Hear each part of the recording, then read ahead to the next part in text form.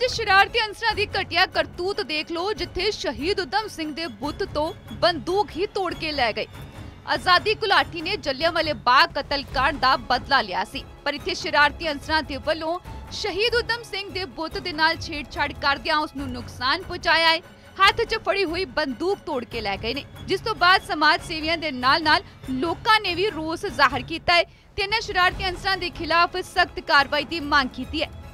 ਵੱਡੀ ਗੱਲ ਇਹ ਹੈ ਕਿ ਕੌਮ ਦੇ ਸਰਮਾਏ ਤੇ ਆਜ਼ਾਦੀ ਘੁਲਾਟੀ ਰਹੇ ਸ਼ਹੀਦ ਉਦਮ ਸਿੰਘ ਨੇ, ਜਿਨ੍ਹਾਂ ਨੇ ਜੱਲਿਆਂਵਾਲੇ ਬਾਗ ਕਤਲकांड ਦਾ ਬਦਲਾ ਲਿਆ ਸੀ, ਉਹਨਾਂ ਦੇ ਹੀ ਬੁੱਤ ਦੇ ਨਾਲ ਛੇੜਛਾੜ ਕੀਤੀ ਗਈ ਹੈ, ਨੁਕਸਾਨ ਪਹੁੰਚਾਇਆ ਗਿਆ ਹੈ। ਜੱਲਿਆਂਵਾਲੇ ਬਾਗ ਦੇ ਵਿੱਚ ਗੋਲੀਆਂ ਚਲਾਉਣ ਦਾ ਹੁਕਮ ਦੇਣ ਵਾਲੇ ਮਾਈਕਲ ਅਡਵਾਇਰ ਨੂੰ ਸ਼ਹੀਦ ਉਦਮ ਸਿੰਘ ਨੇ ਗੋਲੀ ਮਾਰੀ ਸੀ। ਲੰਡਨ 'ਚ ਜਾ ਕੇ ਜਨਤਕ ਮੀਟਿੰਗ 'ਚ ਸਟੇਜ ਤੇ ਖੜੇ ਮਾਈਕਲ ਅਡਵਾਇਰ ਨੂੰ ਗੋਲੀ ਮਾਰ ਕੇ ਮਾਰ ਦਿੱਤਾ ਸੀ, ਜਿਸ ਲਈ ਉਹਨਾਂ ਨੂੰ ਗ੍ਰਿਫਤਾਰ ਵੀ ਕੀਤਾ ਗਿਆ ਤੇ ਫਾਂਸੀ ਦੀ ਸਜ਼ਾ ਵੀ ਸੁਣਾਈ ਗਈ। ਹੱਥ ਵਿੱਚ ਫੜੀ ਬੰਦੂਕ ਉਸੇ ਸਾਕੇ ਨੂੰ ਦਰਸਾਉਂਦੀ ਸੀ, ਜਿਸ ਨੂੰ ਸ਼ਰਾਰਤੀ ਅਨਸਰਾਂ ਨੇ ਤੋੜ ਦਿੱਤਾ ਤੇ ਬੰਦੂਕ ਆਪਣੇ ਨਾਲ ਲੈ ਗਏ। ਇੱਕ ਵੱਡਾ ਅਪਮਾਨ ਆਜ਼ਾਦੀ ਘੁਲਾਟੀ ਦਾ ਕੀਤਾ ਗਿਆ ਹੈ, ਜਿਨ੍ਹਾਂ ਨੇ ਦੇਸ਼ ਕੌਮ ਦੀ ਆਜ਼ਾਦੀ ਦੇ ਲਈ ਇੱਕ ਵੱਡਾ ਯੋਗਦਾਨ ਪਾਇਆ। ਸੋ ਇਸੇ ਨੂੰ ਲੈ ਕੇ ਲੋਕਾਂ ਦੇ ਵੱਲੋਂ ਰੋਸ ਜ਼ਾਹਰ ਕਰਦਿਆਂ ਇਹਨਾਂ ਸ਼ਰਾਰਤੀ ਅੰਸਰਾਂ ਦੇ ਖਿਲਾਫ ਸਖਤ ਤੋਂ ਸਖਤ ਕਾਰਵਾਈ ਦੀ ਮੰਗ ਕੀਤੀ ਜਾ ਰਹੀ ਹੈ।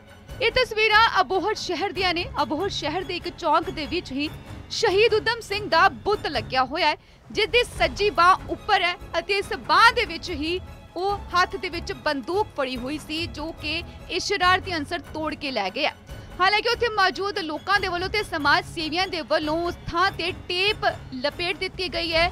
ਪਰ ਇਹ ਵੱਡਾ ਅਪਮਾਨ ਆਜ਼ਾਦੀ ਘੁਲਾਟੀਏ ਦਾ ਆ। ਜਾਂ ਤੇ ਸ਼ਰਾਰਤੀ ਅੰਸਰ ਸ਼ਹੀਦ ਉਦਮ ਸਿੰਘ ਦੇ ਯੋਗਦਾਨ ਨੂੰ ਜਾਣਦੇ ਨਹੀਂ ਹੈ ਤੇ ਜਾਂ ਫਿਰ ਜਾਣ ਕੇ ਉਹਨਾਂ ਦੇ ਵੱਲੋਂ ਅਜਿਹਾ ਕੀਤਾ ਗਿਆ ਹੈ ਤਾਂ ਜੋ ਉਹ ਦੇਸ਼ ਪ੍ਰੇਮੀਆਂ ਦੀ ਭਾਵਨਾਵਾਂ ਨੂੰ ਠੇਸ ਪਹੁੰਚਾ ਸਕਣ। ਵੱਡੀ ਗੱਲ ਇਹ ਕਿ ਮੌਕੇ ਦੇ ਉੱਤੇ ਪੁਲਿਸ ਅਧਿਕਾਰੀ ਵੀ ਪਹੁੰਚੇ ਹੋਏ ਨੇ ਤੇ ਇਹ ਭਰੋਸਾ ਦਿੱਤਾ ਜਾ ਰਿਹਾ ਹੈ ਕਿ ਜਲਦ ਹੀ ਇਹਨਾਂ ਸ਼ਰਾਰਤੀ ਅੰਸਰਾਂ ਨੂੰ ਕਾਬੂ ਕਰ ਲਿਆ ਜਾਏਗਾ ਤੇ ਸਖਤ ਤੋਂ ਸਖਤ ਕਾਰਵਾਈ ਵੀ ਕੀਤੀ ਜਾਏਗੀ। ਸਾਡੀ ਕਮੇਟੀ ਨੇ ਬਹੁਤ 6-7 ਮਹੀਨੇ ਹੋ ਗਏ ਮਿਹਨਤ ਕਰਕੇ ਤੇ ਇਹ ਬੁੱਤ ਲਗਾਇਆ ਹੈ। ਤੇ ਜੋ ਇਹ ਘਰ ਹੋਇਆ ਹੈ, ਬਹੁਤ ਨਿੰਦਣਯੋਗ ਹੈ। ਮੈਂ ਇੱਥੇ 7 ਵਜੇ ਆ ਕੇ ਸੈਰ ਦੇ ਬਾਨੇ ਆਇਆ ਤੇ ਦੇਖਿਆ ਕਿ ਇਹ ਹੱਥ ਸਮੇਤ ਪਿਸਤੌਲ ਤੈਸ ਨੈਸ ਹੋਇਆ ਸੀ। ਤੇ ਮੈਂ ਫਿਰ ਸਭ ਨੂੰ ਫੋਨ ਕੀਤੇ ਨੇ। ਸਾਡਾ ਸਮਾਜ, ਸਾਡਾ ਜੋ ਸ਼ਹਿਰ ਵਾਲਿਆਂ ਨੇ ਜੋ ਵੀ ਲੰਘਿਆ, ਉਹ ਬਹੁਤ ਨਿੰਦਾ ਕਰਦਾ ਔਰ ਮੈਂ ਦੀ ਬਹੁਤ ਜ਼ੋਰ, ਬਹੁਤ ਨਿੰਦਾ ਕਰਨਾ ਤੇ ਅਸੀਂ ਪੁਲਿਸ ਡਿਪਾਰਟਮੈਂਟ ਨੂੰ ਅਪੀਲ ਕਰਦੇ ਹਾਂ ਕਿ ਪੂਰਾ ਤਨ ਮਨ ਨਾਲ ਇਹਦਾ ਗਲਤ ਅਨਸਰਾਂ ਨੂੰ ਫੜਿਆ ਜਾਵੇ। ਇਹ ਸੋਚੀ ਸਮਝੀ ਸਾਜ਼ਿਸ਼ ਹੈ ਤੇ ਜੋ ਗਲਤ ਅਨਸਰਾਂ ਨੇ ਕੀਤੀ ਬਹੁਤ ਮਾੜਾ ਕੀਤਾ। ਇਸ ਘਟਨਾ ਬਾਰੇ ਅਸੀਂ ਸਖਤ ਸ਼ਬਦਾਂ ਦੇ ਵਿੱਚ ਨਿੰਦਾ ਕਰਦੇ ਹਾਂ ਜੀ। ਜੋ ਵੀ ਪਿਛਲੇ ਦਿਨੀ 2-4 ਦਿਨ ਪਹਿਲਾਂ ਇਸ ਬੁੱਤ ਦਾ ਉਦਘਾਟਨ ਸਾਡੇ ਮੰਤਰੀ ਸਭਾਨਾਂ ਵੱਲੋਂ ਕੀਤਾ ਗਿਆ ਸੀ। ਬੜੀ ਧੂਮਧਾਮ ਨਾਲ ਸਾਡੇ ਕੰਬੋਜ ਸਮਾਜ ਵੱਲੋਂ ਕੀਤਾ ਗਿਆ ਸੀਗਾ। ਤੇ ਅੱਜ ਇਹ ਘਟਨਾ ਸੁਣ ਕੇ ਬੜਾ ਦੁੱਖ ਪਹੁੰਚਿਆ। ਤੇ ਜਿਨ੍ਹਾਂ ਨੇ ਵੀ ਇਹ ਕੰਮ ਕੀਤਾ, ਉਹਨਾਂ ਨੂੰ ਜਲਦ ਤੋਂ ਜਲਦ ਟਰੇਸ ਕਰਕੇ ਉਹਨਾਂ ਤੇ ਸਖਤ ਐਕਸ਼ਨ ਲਿਆ ਜਾਏਗਾ। ਕਿਸੇ ਨੂੰ ਵੀ ਬਖਸ਼ਿਆ ਨਹੀਂ ਜਾਏਗਾ।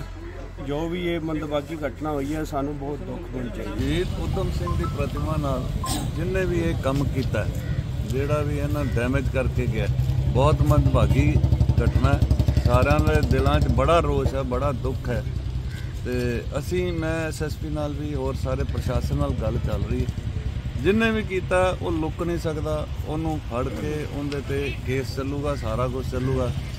ਕਿਉਂਕਿ ਇਹ ਸਾਰੇ ਦੇਸ਼ ਦਾ ਇੱਕ ਸ਼ਹੀਦ ਹੈ। ਯਾਰ ਕਮਾਲ ਹੋ ਗਈ ਵੀ ਸ਼ਹੀਦਾਂ ਨੂੰ ਵੀ ਕੋਈ ਨਹੀਂ ਛੱਡਦਾ। ਹਲੇ ਤਾਂ ਹੁਣ ਤਾਂ ਉਦਘਾਟਨ ਕੀਤਾ, ਹਲੇ ਪਰਸੋਂ ਦਾ ਕੀਤਾ।